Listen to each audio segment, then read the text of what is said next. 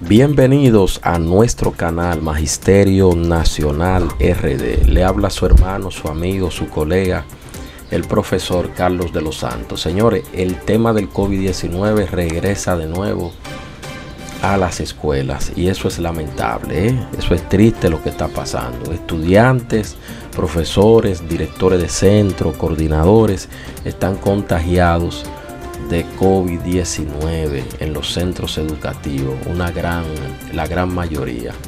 Miren lo que pasó en la escuela de Baní. En Baní 14 escuelas tuvieron que cerrarla porque entre profesores y, estudiantes estaban contagiados de COVID-19.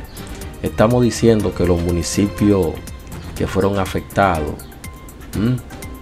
que están afectados de esto, tienen que ver con Baní, Matanza, La Marino Báez, en Peravia, Nicelio Sosa en el cruce de Ocoa, Vitalina Guerrero en Boca Canasta, entre otras más. Es decir, hay muchos centros educativos que están contagiados en la región sur del país. Estamos diciendo que Peravia, Ocoa, San Cristóbal, San Juan, entre otros, están siendo afectados las escuelas, los estudiantes, los profesores de COVID-19. Y eso es alarmante lo que está pasando. En el Gran Santo Domingo tengo reporte que también hay escuelas que están en esa situación.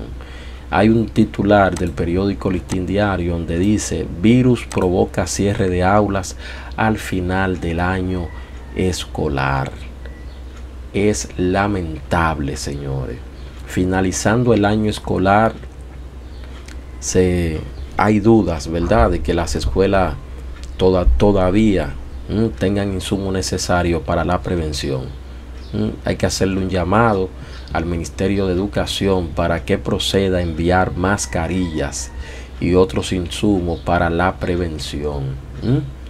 Se debe de hacer todo lo posible para eso. Y los casos de un día para otro se están duplicando. Hoy aparecen tres en una escuela y mañana aparecen seis, nueve y más de ahí. A veces se triplifican los casos. Tenemos en los Alcarrizos también eh, tres escuelas eh, que también hay, tienen 10 días laborables, es decir, tienen 10 días profesores en una situación muy calamitosa. Alrededor de 50 personas hay escuelas ahí en los Alcarrizos, en los Alcarrizos que están contagiados de COVID-19. Lo que está pasando con el COVID, señores, no tiene mamacita, como dice por ahí. Cuando digo así, me estoy refiriendo a que es alarmante lo que está ocurriendo. Ustedes sabían que la positividad diaria ya se ha elevado del COVID-19 se ha elevado a un 20%. Estamos hablando de este 14 de junio del año 2022. Es alto los casos. ¿eh? Hay más de 600 casos nuevos. Hay más, eh, decir, 600 eh, casos nuevos. Más de 8.000 muestras procesadas en las últimas 24 horas. Eso lo ha dicho o lo dice el Ministerio de Salud pública. El boletín, vamos a decir así, este boletín está, está diciendo de manera clara que hay un número de contagio de COVID-19 alarmante en las escuelas del país. Solo en el puesto para, decir, solo para detectar el coronavirus ubicado en el centro comercial de la plaza, de la plaza central de la capital, se están realizando un total de 200 pruebas, 200 pruebas por cada día. Es decir, la demanda es alta. La demanda de pruebas en plaza central de la capital, 200 pruebas por día se están realizando.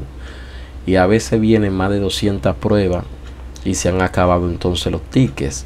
Dijo una especialista en ese local que prefirió mantener su nombre en el anonimato. Así que señores, vamos a cuidarnos porque lo que está pasando con esto del COVID es alarmante. Le daremos seguimiento a esta situación para mantenerlo ustedes informados. Señores, muchas gracias por seguirnos y apoyarnos en redes sociales. Bendiciones.